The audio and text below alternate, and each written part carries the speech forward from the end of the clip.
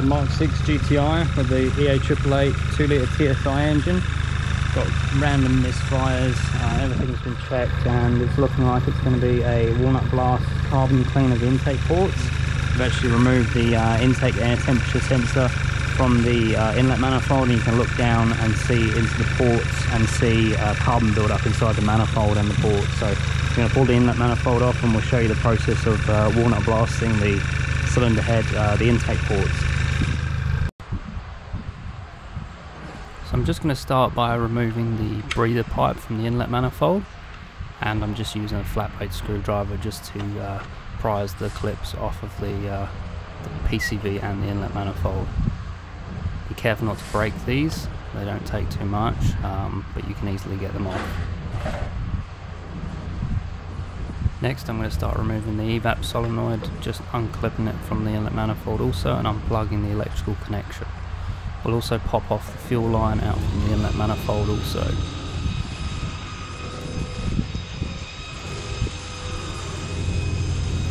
So you can see I've got the fuel line off and I'm just going to tuck it out of the way so it can get to our manifold. And unplug the cam sensor. Just going to use a little flat blade screwdriver again just to aid getting it off without breaking it. Just going to chuck my oil filter cup on here and we'll use that later to get the filter off. I'm just going to start whizzing out the bolts that hold the inlet manifold to the cylinder head. They're mainly T30 bolts that will go uh, the whole length top and bottom and then on each side on the top edges there is two 10mm nuts on the end of the M6 studs.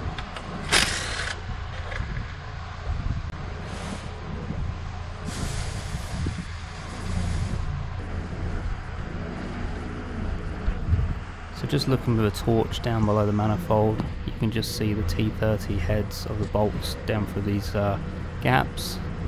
And that's what we're going to be sending our extension down to undo. There's one at the top, another one. So multiple T30 bolts holding this on. And then we've got our 10mm nuts at each end.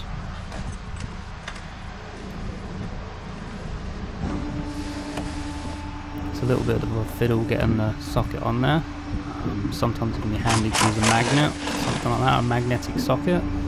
Um, for the 10mm nuts I mean, um, but the T30 bolts are pretty good. I'm also just going to unbolt this bracket off the bottom of the inlet manifold which holds on the wiring plugs that run underneath the inlet manifold. So again just T30 bolts and there's two of them holding it on and once that's pushed down that's no longer needed, needed to come out with the manifold. Same thing this end, going to bolt these coolant lines off the inlet manifold, same T30 nut bolts again. And then there's just one underneath the front here.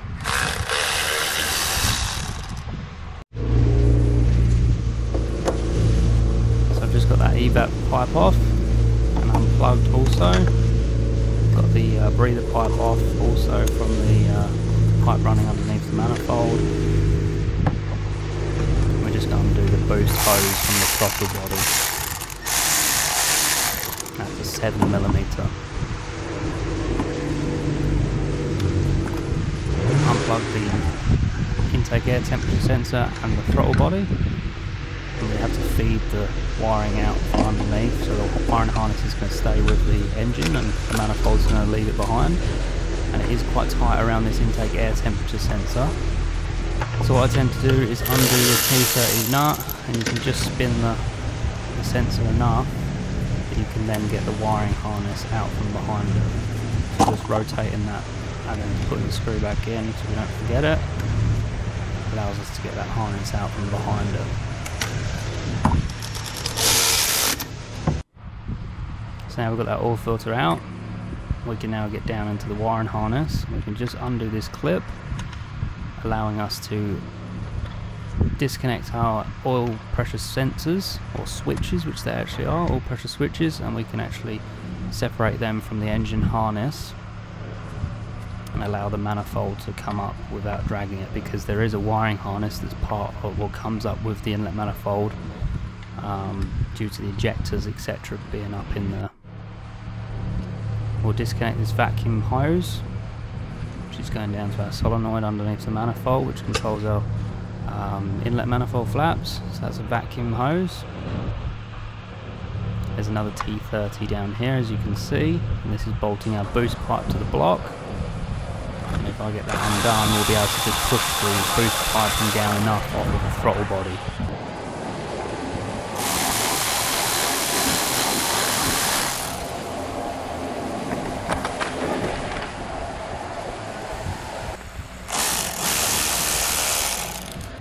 Get this boost pipe off of the throttle valve now.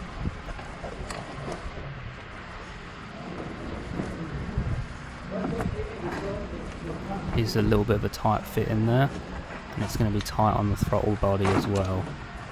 Try not to tear the pipe when you're removing it as you will create a boost leak.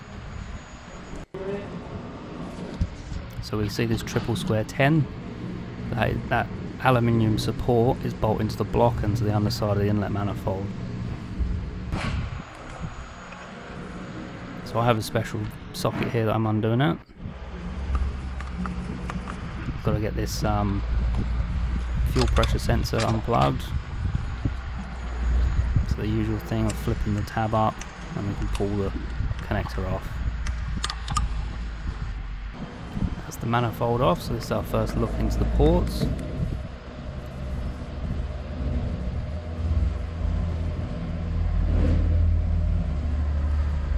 Worst I've seen, but bad enough to need doing. We'll pull those deflector plates out and have a good look as well. Got the rag over the oil opening so we don't pull any anything in there. Um, yeah, we'll have a look at the inlet manifold as well. If we look at the tips of these injectors, they do look quite coated in carbon build-up.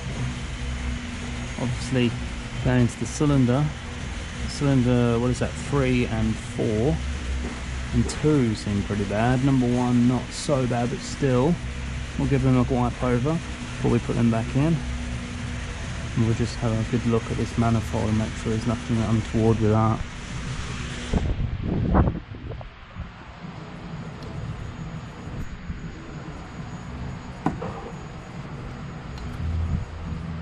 So the deflect plates just pull out. Some people delete these and tune them out with the swirl flaps and everything. This is a bit of a bad idea, I believe, from what I've heard. Um, so yeah, you can see how shrouded those valves are. Obviously those are completely wide open at the moment. And then you've got that, you can just see the complete difference between cylinder to cylinder. It's going to cause such an imbalance on that stray leaf that's in there. So we'll just rotate this so it looks at the moment that we'll probably be able to do number two and number three at the same time. And we'll just rotate it so we've got some valves closed, block off the ones that are open and we'll do a um, walnut blast. So I've got that open port with the valves open, blocked off with some duct tape. I'll put some paper towels in the uh, injector holes and we'll blast these three cylinders. So our first blast of the ports and it's starting to break it down. It is pretty heavy. This one's done probably the best. That left valve looks pretty good.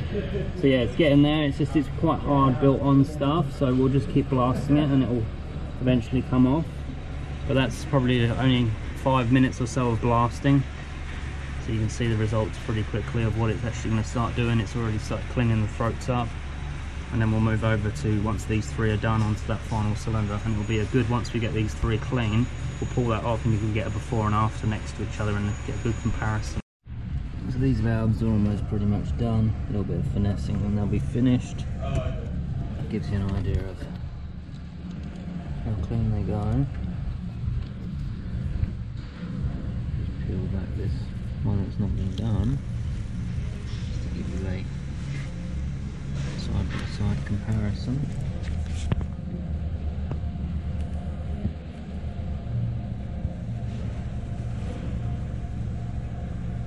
so you can see the valve guides those bronze things at the top of the stems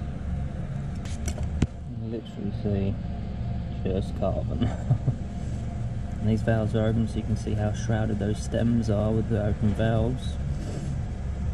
So that's what will sit up against those valve guides when the valves are shut. It is quite hard carbon and it's been quite hard getting that broken down. Like I said, there is still a little bit more to come off as well. Like you can see just through a little bit around that valve on the right. So yeah, we'll just uh, finalise that and then uh, be happy, reassemble it.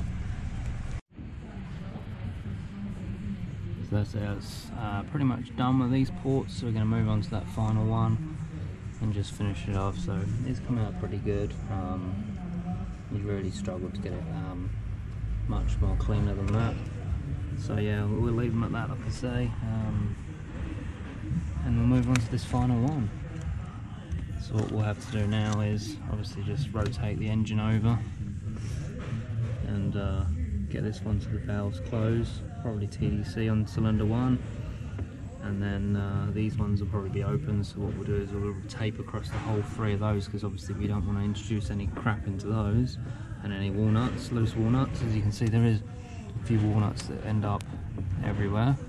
I've got the PCV plugged so yeah we just want to be cleaning out here and nowhere else so that's our before on cylinder one so that's cylinder one now with the valves completely closed. And you can see how that carbon buildup matches up perfectly with the valve guides. And then we've got the rest of the ports blocked off with duct tape again. So we'll start blasting now and then we'll give these a clean up. That's our first blast started on this cylinder one. So you can see we've got a decent amount out of this already. More so it seems out the right, uh, out the left port, but yeah, a bit more finessing and obviously the heavier, the harder the build up is, the harder it is to get off. So um, yeah, we'll. Uh, I know I find in the intake, just just in the tip of the ports here, I, I tend to just use a, a, light wire brush just to knock the, because uh, it's basically just dust that's built up there. And then that stuff that's a bit further down, the valves will blast again. So this will probably get three or four blasts. We're now completed with cylinder one also. You can see how clean that was is compared to how it was got some cleaning up of our deflector plates to do. You can see our blasting kit we're using. So this is the lance that goes down the middle of this vacuum cleaner tube assembly. So there's actually a hole there. So this fits onto the port. This is actually BMW tools that we're using. It's exactly the same as the Volkswagen assembly. This this actual hopper or whatever you want to call it. So this actual unit is the same as the Volkswagen assembly. Um, it's, it's just the uh, attachments that are different. So I'm saying it's probably made by the same company. Like I say, we've got the BMW thing because we do Volkswagens, Audis, Beamers, Mercs, etc., Land Rovers. But yeah, all this is the same, just the, the fittings onto the ports. So unfortunately, we're not sealing perfectly around where the deflector flaps go in. So that's why we've got all this mess of walnuts everywhere. But we're, we've plugged everything that's um, going to be a worry for getting walnuts in, etc. Um, so yeah, that's going to be the next thing we're to have to get is the adapters to fit in there because it will get a nicer seal and better with the vacuum cleaner, um, cleaner, etc. Less tidying up to do, and I think it actually makes it more effective even just to blast them, um, you know, in a enclosed uh, chamber almost. So, but yeah, that's what we're using. Uh, this air pressurized container, and we're using walnut shells to blast it. So now simply it's going to be um, clean those injectors and fit new injector seals and refit the manifold. So we're all back together, so I've just attached VCDS and we're just going to scan and clear the codes and we'll also uh, see what our idle is like. So we had this cylinder 2 misfire that kept coming up, intermittent but not really a, a major obvious one, no leaking injectors or anything like that. Ignore the intake manifold one that's just come up from me having the intake manifold disconnected. So we'll clear these codes out from the, uh, the memory. Once that's done, we'll take the car for a road test and just make sure no misfires occur and no fault codes return.